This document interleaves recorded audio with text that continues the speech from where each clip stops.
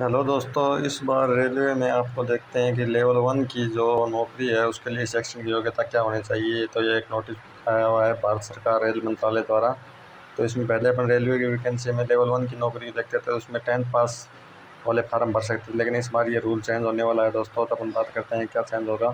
तो यहाँ पर दिया हुआ है कि रेलवे में civil engineer mechanical electrical signal and telecom विभागों तथा कैटरिंग प्रभाग में पे मैट्रिक्स के लेवल वन में कर्मचारियों की सीधी भर्ती के लिए निर्धारित शैक्षणिक योग्यता national counselling for vocational training द्वारा प्रदत्त नेशनल अप्रेंटिसशिप सर्टिफिकेट या तो आपके पास नेशनल अप्रेंटिसशिप सर्टिफिकेट सहित दसवीं होनी चाहिए या फिर आपके पास आई आई टी आई सहित दसवीं उत्तीर्ण होना ज़रूरी है। या तो आपके पास नेशनल अप्रेंटिसशिप सर्टिफिकेट और दसवीं हो या इसके अलावा I T I plus tenth हो तो आप इस बार group D railway level one की नौकरी के लिए एलिजिबल होंगे।